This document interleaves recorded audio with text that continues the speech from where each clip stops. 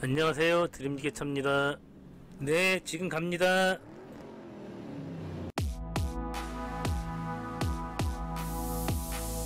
이제 잠시 후면 현장 퇴근 시간이 다 돼가죠.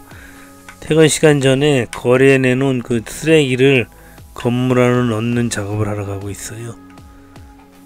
현장 정리해야 되니까 조금 바쁘죠. 시간이 지금 5시가 다 돼가네요 이 지역은 그 고양시의 대표적인 그 상업지역으로요. 야간이 되면 점점 더 화려해져요.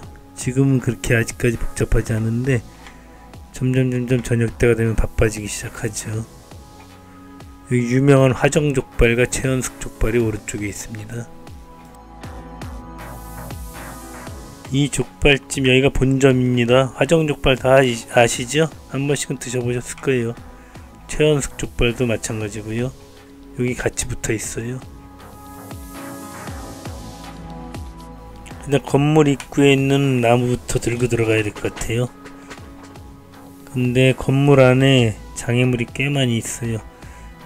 그 사이로 들어가야 되는데 그래도 뭐 천정고가 높아갖고 높이 높이 들고 들어가니까 크게 무리는 없는 것 같아요.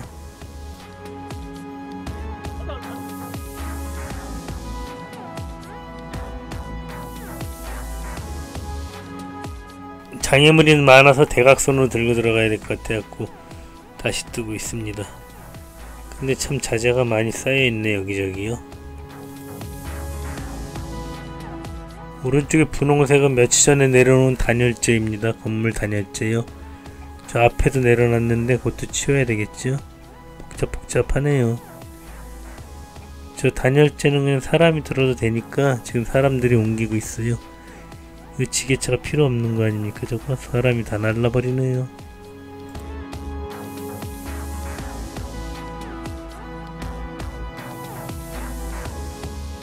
저 단열재는 스티로폼의 일종이잖아요. 저 정도야 뭐 그냥 혼자 발쩍발쩍 들 수 있을 것 같아요. 어쨌든 저분들이 저걸 다 치워줄 때까지 잠시 대기하고 있겠습니다 으라차차 이까지 끝뭐 번쩍번쩍 들어버리죠. 저도 내려가서 힘을 버텨야 되나 모르겠네요. 아, 한 분 더 왔네요. 뭐 그렇다면 일은 쉽게 끝날 것 같아요. 번쩍 뜨잖아요. 지게차 필요 없어요. 사람의 힘도 굉장히 세죠. 자 이제 나무 들어갑니다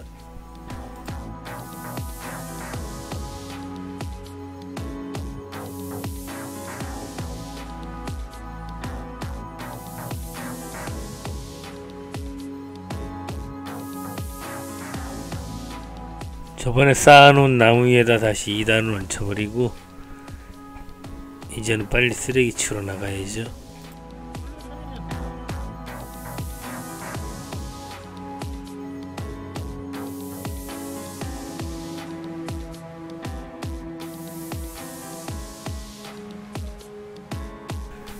아 그러나 저러나 벌써 5월달이 이제 마지막 날이 되어버렸네요.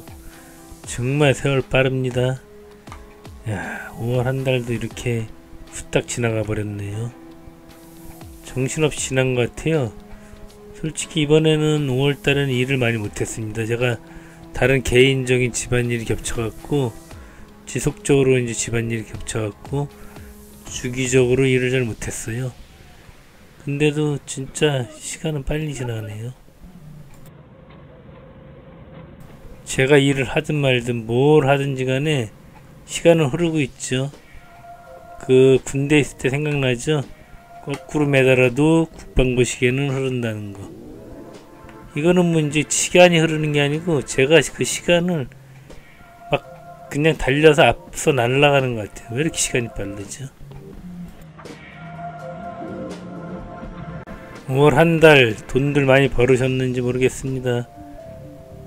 오늘 마지막 날 마무리 잘 하시고 돈 받을 거 열심히 잘 받으시고 또 5월달에 무사하고 안전운전 잘 하셨는지 모르겠습니다. 하여튼 마지막 이제 오늘 마무리 잘 하시고 6월달에 또 뵙겠습니다. 6월달에도 또 저는 일을 많이 못할 것 같아요. 다른 그 집안일이 있어갖고 일이 자꾸 끊어져게 돼 있어요. 그러나 이게 바로 그 우리 같은 떴다방 영업용 지게차 떴다방의 장점이죠. 현장에 가 있으면 이렇게 많이 못하는데 떴다방 같은 경우 제가 쉬고 싶을 때 쉴 수 있다는 거 그리고 내가 중요한 일이 있으면은 돈 버는 것보다 더 중요한 일이 있으면은 돈을 안 벌고 포기를 하면 됩니다. 제가 못 가는 대신 또 다른 지게차 가서 일을 하면 되니까요. 이게 떴다방만의 장점이죠. 내가 시간 조절을 할 수 있다는 거예요. 이거마저 없었으면 숨막혀 못 살죠. 그래 한 달 동안 쉬고 싶으면 한 달 동안 쉬어도 돼요. 물론 수입은 없어요. 뭐 못 버는 만큼 안 먹고 안 쓰면 되는데 또 꼭 그렇지만은 않기 때문에 또 일을 하게 되면 열심히 할 수밖에 없어요. 쉬고 싶은 마음 굴뚝 같은데 못 쉬게 되는 거죠. 일단 기본적으로 벌어야 될 돈이 있기 때문에요. 만약에 빚이 없고 뭐 매달 고정적으로 들어가는 돈이 지출이 거의 없다면은 이 자영업만큼 좋은 직업은 없죠. 까짓 거만 안 벌면 그만이니까요. 놀면 되잖아요. 근데 이 자영업의 현실이 그렇지가 않죠. 빚은 쌓여 있고 매달 들어가는 돈은 넘쳐나고 항상 적자일 수밖에 없죠. 그러다 보니까 한 푼이라도 더 벌려고 길을 쓰고 일을 하고 길을 쓰고 문을 여는 겁니다. 그 옛날의 노예 제도를 그대로 가져온 이 돈의 노예가 돼버린 거죠. 우리들은 어느새. 그냥 돈이 없으면 못 살잖아요. 지금 현대 사회에서는. 너무 돈돈거릴 수밖에 없는 게 현실이에요.